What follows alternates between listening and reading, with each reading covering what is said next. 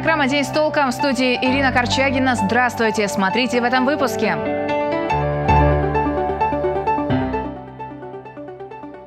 На 40% меньше в этом году очередь за ипотекой поредела. В каком состоянии рынок жилья?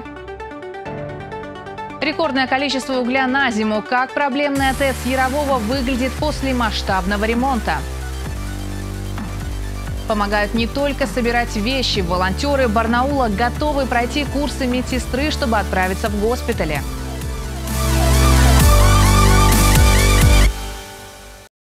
В Барнауле задержали мужчину, избившего инвалида при своем пятилетнем сыне. Напомним, инцидент произошел 12 ноября. Поводом потасовки стало замечание прохожего, который заметил, что мужчина жестоко обращается с ребенком. Сейчас следователи назначили судебные экспертизы и допрашивают очевидцев, в том числе и самого обвиняемого.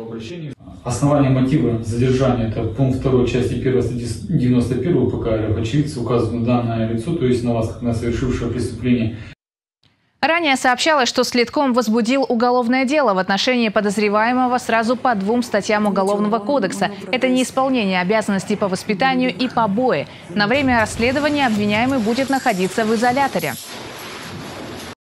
Почти на 40% упал спрос на ипотечные кредиты в Барнауле в сравнении с прошлым годом. Такие данные нашему телеканалу озвучили представители банковской сферы. Они также заверили, что интерес к недвижимости рухнул не только из-за объявлен... из объявленной в сентябре частичной мобилизации, сколько из-за специальной военной операции. Подробнее о том, какое жилье сейчас пользуется спросом и стоит ли тянуть с покупкой квартиры, расскажет Валентина Аскерова. За вас! Отметить новоселье этой осенью смогли не все. После объявления частичной мобилизации рынок среагировал мгновенно. Застройщики жаловались, что банки не дают ипотечный кредит мужчинам призывного возраста. Спустя два месяца паника спала. Есть ряд банков, это в основном частные банки, которые, в принципе, приостанавливали свою деятельность по выдаче ипотеки, но это связано, наверное, не только с конкретной мобилизацией, да, а это связано с более, так скажем, экономическими факторами. Ну, э, банки, у которых свой частный капитал, они очень зависимы от рынка, от многих факторов, и просто они не знали, так скажем, под какие условия выдавать эту ипотеку. Эм, ну, немножко была пауза. Сейчас все работает в штатном режиме, говорят в банке. Но самих желающих поубавилось, если сравнивать с октябрем прошлого года, на 20% выданных ипотек. А если брать более протяженный промежуток, то цифры следующие. Если, опять же, сравнивать с периодом аналогичным, в 2021 году за 10 месяцев э, мы получили меньше заявок в 2022 году по отношению к 2021 порядка чем, меньше, чем на 40%. Угу. То есть да, но это, как я повторил, связано в целом со спецоперацией, связано с э, мобилизацией в том числе. Но новые высотки все растут. Вот только сейчас они не популярны. Горожане смотрят на вторичку и загородную недвижимость. Люди смотрят на то, чтобы уже взять готовое, и можно было заехать и жить, не неся при этом рисков вот, э, да, какого-то ожидания. Если э, посмотреть э, отчеты Министерства строительства Алтайского края, то там, как сообщающиеся сосуды, сейчас спрос перераспределяется непосредственно в сторону малоэтажного жилья. На сегодняшний день есть спрос, но далее мы наблюдаем уже ожидания. То есть люди смотрят недвижимость, но тем не менее предпочитают пока подождать и присмотреть варианты более выгодные. Стоит ли сейчас вкладываться в недвижимость? Недвижимость. Вот ваше мнение. Время или нет? Я думаю, нет. Я думаю, что нет. А я думаю, да. Почему? Ну, недвижимость у нас стоит и стоит, а деньги сегодня есть, завтра их нет. Деньги нужно на другое сейчас, более важное. По данным Краевого Минстроя, в этом году на Алтае появилось больше 800 тысяч новых квадратных метров жилья. Это почти 11 тысяч квартир. Плюс, по данным риэлторов, сегодня в Барнауле простаивает 3600 квартир вторичного жилья. Выбор огромен. Но в последнее время жители смотрят жилье не только в край, но и за его пределами. И этому есть причина. Минимальная стоимость однокомнатной квартиры в новостройках, судя по данным в интернете, в разных городах примерно одинаковая. В Барнауле больше 3 миллионов рублей, Новосибирске Новосибирске те же 3, в Москве 5 миллионов, в Санкт-Петербурге 3 миллиона. Покупка квартир за пределами города Барнаула – это Новосибирск, э, Сочи, э, Санкт-Петербург и Москва. Получается, что платеж в месяц 25-30 тысяч рублей, и человек может приобрести квартиру в Москве. А в Санкт-Петербурге э, цены ниже, чем в Москве. По словам экспертов, пока нет причин ни к понижению, ни к повышению стоимости квартир в Барнауле. А еще они уверены, что если кто-то хочет решить свой жилищный вопрос, то нужно действовать и покупать. Но в инвестиционных целях скупать жилье сейчас не советуют. Валентина Аскерова, Александр Антропов. День с толком. В России с начала года оформили 4 миллиона загранпаспортов. Это самый высокий показатель за 4 года, сообщили в ведомстве. Некоторые эксперты объясняют такой спрос на услугу проводимой спецоперации и объявленной в сентябре частичной мобилизации. Не так давно в соцсетях даже писали, что мужчинам призывного возраста отказывают в оформлении заграндокумента. В Барнаульском МВД нам это опровергли. Объясняют, причиной отказа могут быть э, неверно заполненные данные, долги больше 10 тысяч рублей – участие в судебном заседании, не истекшей судимости. Но для мужчин от 18 до 27 лет ведомство делает запрос в военкомат, не уклоняется ли человек от срочной службы. Также в МВД фиксируют рост заявлений на загранпаспорт. Но причина этому, по мнению специалистов, в том, что воспользоваться скидкой на госпошлину с января уже не получится. По итогам 10 месяцев 2021 э, года у нас было выдано как э, старого образца, так и нового образца эм, заграничные паспорта, содержащего электронные носители информации, порядка 14 тысяч. Если взять 10 месяцев 2022 года, получается около 18 тысяч. Как правило, документы для выезда за границу оформляют семьи, добавляют специалисты. Целью визита чаще всего заявляют путешествия. На проблемной ТЭЦ в Яровом завершился масштабный ремонт. Как отмечают власти города, это первые крупные работы на объекте за последние десятилетия. В этом году на обновление станции потратили порядка 200 миллионов рублей. Еще почти полтора миллиарда ушло на подготовку к текущему отопительному сезону. Анара Шагирова побывала в обновленной станции. Последние три года для Яровской ТЭЦ, как и для периодически замерзающих горожан, были самыми напряженными. Котлы выходили из строя, температура в домах и на соцобъектах падала. Станция провела два года с 2019 по 2021 в режиме чрезвычайной ситуации, после в режиме повышенной готовности. Это было связано с тем, что станция находилась в плачевном состоянии. То есть в любой момент э, могла, могла возникнуть э, чрезвычайная ситуация, то есть поломка, остановка станции. То есть мы как бы были на волоске.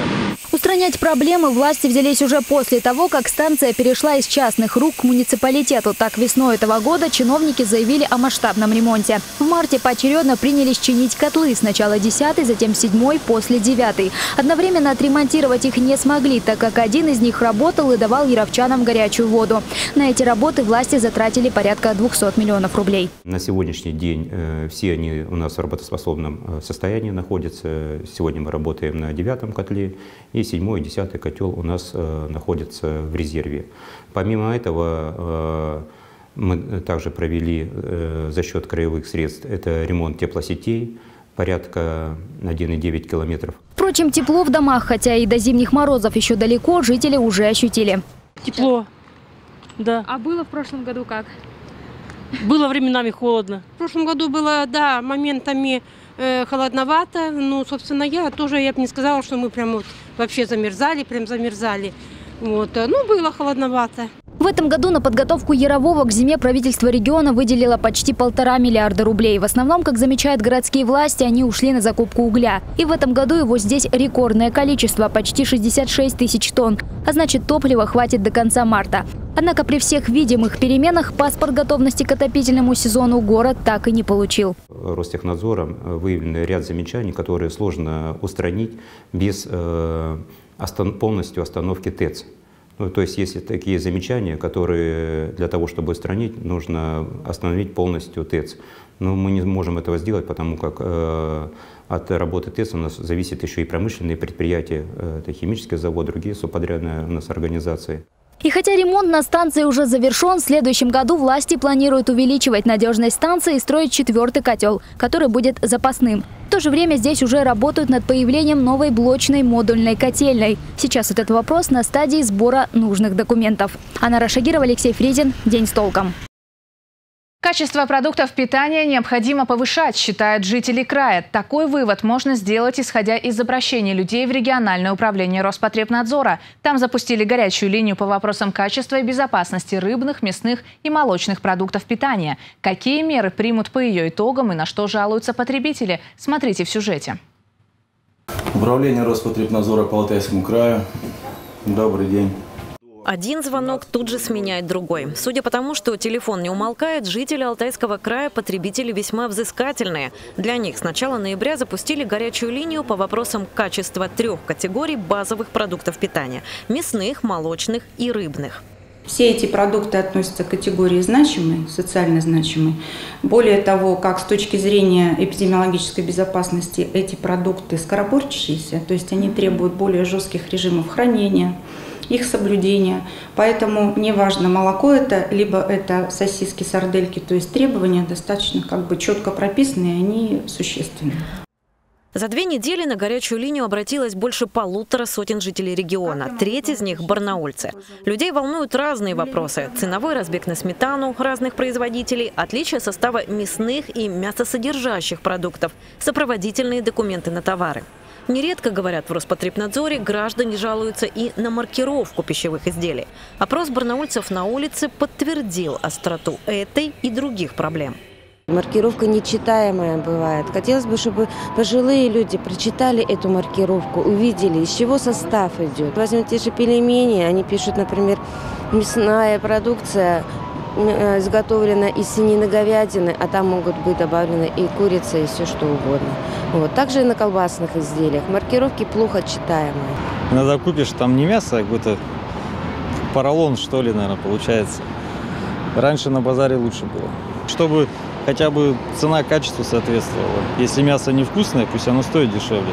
Ну, вот если про колбасу говорить, ну, ожидаешь, что она должна быть вкусная, она, например, невкусная она ну, не оправдывает ожидания, скажем так. Рыба была, но она была, то есть, не первой свежести. То есть дата была одна по факту, а на самом деле она ну, не этой даты, которая там указана. Повлиять на изменение состава продукта или ценовую политику производителя, подчеркивают в Роспотребнадзоре, их ведомство не вправе. Но специалисты проконсультируют по наличию сопроводительных документов, обязательной информации в маркировке товаров, соблюдению санитарных правил и норм. И если продавец допускает нарушения, сотрудники ведомства готовы помочь потребителям в составлении претензии. Такую, к примеру, оформили одному из барнаульцев. У меня вопрос по рыбе. Так, что с рыбой? Приобретенная рыба после разморозки дает очень много воды, и она становится по весу намного меньше, чем я за нее заплатил. Содержание глазури должно быть не более 5%. По данному факту вы имеете право обратиться к продавцу данной продукции некачественной с претензией. Будет перерасчет а, цены покупной цены. Если будет установлено, что содержание влаги значительно больше, то есть льда, чем предусмотрено техническим регламентом. Если и у вас есть вопросы к качеству продаваемой рыбной, мясной или молочной продукции, вы можете обратиться на горячую линию Роспотребнадзора. Ее работа продлится до конца ноября. После подведут итоги и опубликуют их на сайте ведомства. Кроме того, продавцам продуктов питания ненадлежащего качества направят соответствующие предостережения. Данное предостережение направляется субъекту предпринимательства. Таким образом, меры как бы принимаются с тем, чтобы в дальнейшем такие нарушения не допускались. Специалисты надзорного ведомства подчеркивают, обращения о продаваемых продуктах питания они собирают регулярно. Это позволяет оперативно реагировать на нарушения со стороны участников рынка пищевой промышленности и, как следствие, сохранять здоровье населения. Елена Макаренко, Дмитрий Денисов. День с толком. И к другой теме. Маломобильные пациенты барнаульского поселка Южный вновь вынуждены сами преодолевать сотни метров до больницы. По словам местных жителей, главный врач 10-й горбольницы распорядился не пускать водителей, в том числе такси, на территорию медучреждения. Привез больной э, человека на городскую больницу номер 10. Больной не может ходить. Э, мне отказывают, да, не проезжают, только, только по пропускам. Летом этого года водители такси жаловались на запрет подвозить людей к крыльцу 10-й горбольницы. Маломобильные пациенты добирались до врачей на своих двоих. После нашего сюжета таксистам начали открывать шлагбаум, но спустя 4 месяца возмущаются водители. Акция закончилась. Все. Не хотят пассажиры, идите пешком. Э, Забрать надо с больницы не, ходящего. Вот распоряжение. В Минздраве нам пояснили, что подобных поручений главврач охранному предприятию не давал, и если проезд запрещают, то нужно обращаться в администрацию больницы. 15 желающих из общественных организаций Барнаула, которые с начала частичной мобилизации собирают, собирают э, теплые вещи и оборудование участникам спецоперации, пройдут курсы медицинского дела. С 21 ноября по 2 декабря 15 волонтеров будут заниматься в медколледже и учиться оказывать первую помощь. По словам волонтеров, идея создать такую группу возникла после призыва их сыновей. И пройдя курсы медсестры, уже есть желающие отправиться в госпитали для помощи военнослужащим. Другим навыки нужны для помощи своим пожилым или больным родственникам. Несколько недель назад такие курсы начались уже у журналистов Алтайского края. Они проходят в рамках проекта «Журналист меняет профессию» и были запланированы еще до начала мобилизации. Как оказалось, теперь эти навыки будут полезны вдвойне. Чему сотрудники СМИ научились на последнем занятии, расскажем в сюжете. Берем свой кулак, обхватываем его и глубоко, вот они косточки у меня, да, выступающие, вот он в паховое кольцо ввожу и начинаю опускать прижимая до остановки кровотечения. Сама наблюдаю.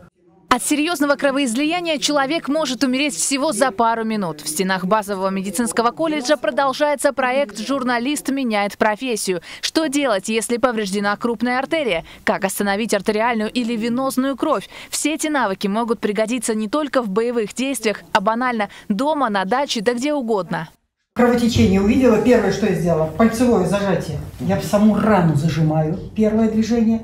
Второе, перевожу в вертикальное положение и укладываю себе на плечо. А дальше правильно наложить жгут, не передержать его и дать раненому обезболивающее. Видите, какая рука стала? Поставьте вторую, не видят. Видим, видим. Белая. Это страшно просто. И третий признак. Отсутствует пульс на периферии. Снимать? Ага. Ого. Шарф, оторванный рукав, галстук и даже обычный ремень может стать жгутом. Теперь смотрите, внутреннюю петлю одеваю. Йод может вызвать ожоги, а зеленкой мы обрабатываем вокруг раны. Об этих и других лайфхаках многие слышат впервые. Если будете вот таким вот движением скатывать, долго. очень долго, и эффекта вы не получите. А если вот такой пойдет вариант скатывания бинта, левая рука направляет, а правая катает. И если эластичный бинт я накладывала вот так тур на тур, то смотрите, когда с бинтовой повязкой очень часто вот такой эффект да, происходит, да. скольжение. И вот пытаешься его притянуть. А теперь смотрите, что я сделаю. Я вот так положу под углом. И когда я первый тур сделаю, он уже, смотрите, а это уже продвинутый уровень повязки – рыцарская перчатка. Ее часто накладывают при ожогах. У нее вся тыльная поверхность защищена. А ладошку покажите всем.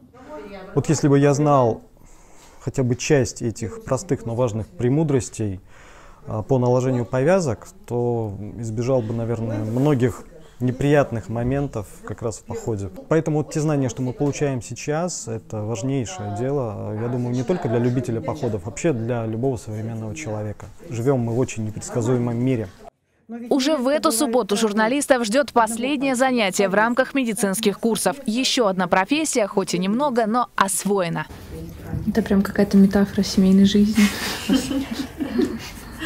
Ирина Корчагина, «День с толком».